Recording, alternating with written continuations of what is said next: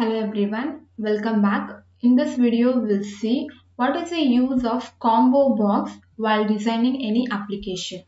Now let's begin. So this is the application interface I designed to demonstrate the use of combo box. We'll see the required controls that is three labels and one text box, one combo and four commands I placed. Now we'll change the properties of these controls.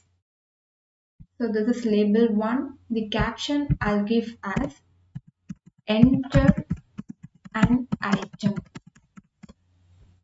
And the label 2 is list of item.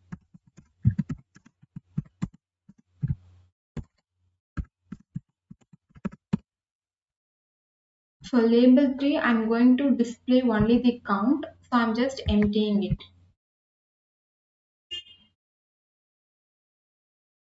For text box, I'll erase the content and the properties of combo 1. Here, there is uh, some properties you have to concentrate on this. So the name, you can change the name of the combo 1 so to some other name so it will be using in your program. So you can change the font size and this list so with the help of this list only, you will be adding the items at design time. So we can add the items to the combo box in two ways at the design time and at the running time. So whatever the items you want to display it, it you can enter it and you can save it to the combo one. And this index shows the index value of each and every item you have added to your combo box. And the style so with the help of the style, you can change the style of your combo box. That is drop down combo, simple combo and drop down list. And this text. So this text is used to display the uh, name to the combo one. So if like uh, select the course, select the semester, likewise whatever the uh, content you want to display on the combo box, you can type it in this text property. If you don't want to type anything, you can keep as a combo 1 or else you can just empty it. So I'll keep combo 1 only. And these are the four commands. We'll change the caption of these commands.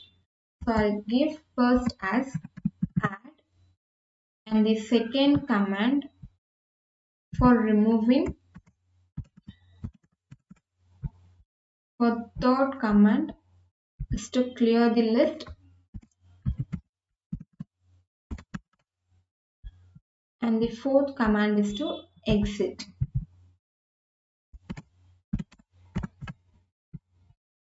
Now I'll change the background color of these three labels.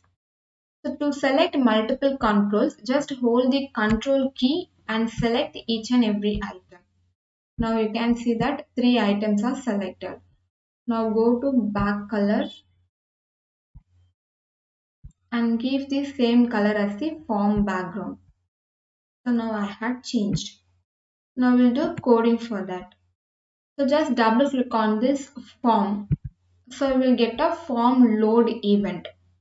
So you can load some items. As soon as you can execute, you can see those items. For that purpose, I'm just adding it. This is called as runtime adding items. So combo one dot add item is a method to add the items and as I'm adding string, you can enclose in double quotation. Apart from saying you are adding some numbers means you don't have to specify the double quotation. So I'll just copy the statement and how many items you want to display it, you can just type it. I'm adding five items. I'll change the item names and two numbers.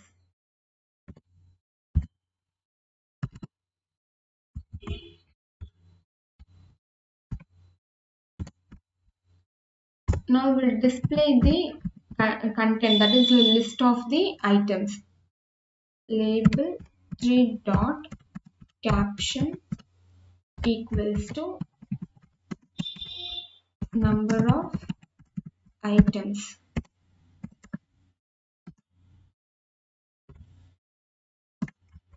And give a concatenation operator that is ampersand and call the method combo1 dot list count.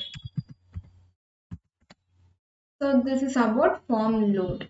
Now go back and click on this exit command and type unload me. So it will return back to the program. And for clearing, we'll invoke the clear method that is combo1 dot clear. Again display the count of your list. So I'll copy this statement and paste it here. So this will keep count of my list. For adding text1 dot enabled equals to true. If text1 dot text is not equals to empty then combo1 dot add item space text one dot text. So whatever value i had entered in my text box it will get stored to the list after storing i'll just make the text box as empty else suppose your text box is empty we have to pop up a message that entered an item to be added. So endure if condition. Then we need to set the focus back to the text box. So set focus enter. Now I can display the count caption equals to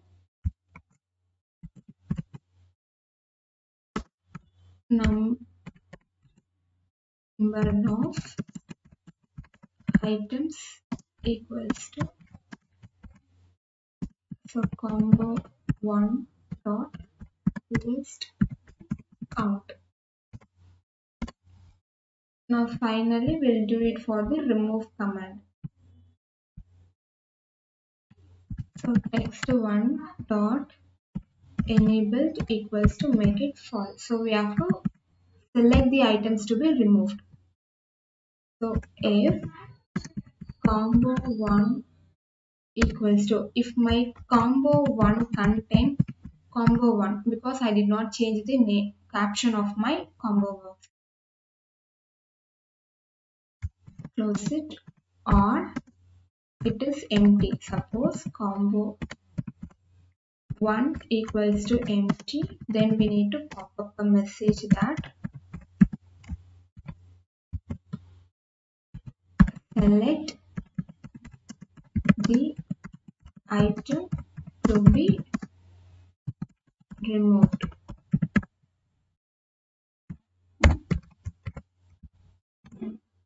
Enter. And we need to specify one more condition.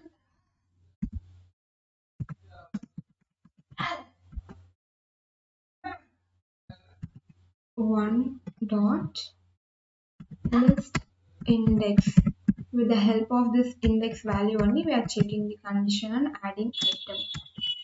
Then enter combo one dot. We have to specify the remove method that is remove item space combo one dot list index. So this statement this statement removes whichever uh, items you have selected currently. Again, we specify the list count. Now finally, end your if statement. So this is all about coding. We'll just execute and check it. So this is the outlook of our program. Here you can see that as we have added 5 items at the runtime, it will display the number of items as 5. You can check here. So see here 5 items are present here. For that purpose only it is showing us 5. if you want to add item so i did not enter any values in the text box. I'll just give add. It will pop up a message that enter an items to be added. Okay. I'll give bsc then add. My count is incremented to 6 so here you can check. The bsc is added at the end if i want to remove here the select the items to be removed. You cannot type here as my text box is disabled. You cannot type. You can go here and select the item to remove and give remove. It is removed. The count is decremented to 5. If you want to clear this entire list, you can give us clear command. So, so count is reduced to 0. Here none of the items are present. So again we can add sorry.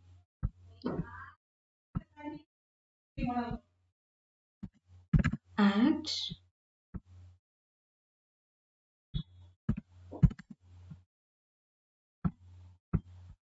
so two items I had added. Here you can see that add and BCA I select BCA and remove it is removed and the remaining is add. And you can clear and you can exit this is the purpose of combo box. You can add the items, you can remove it and you can clear the list. So with the help of all the list index only we are using it and you can invoke whichever method you want to use it. I hope this video would be helpful for you. If you are watching my channel for the first time, don't forget to subscribe, like, share and comment. And thanks for watching. Stay tuned. Bye bye. Take care.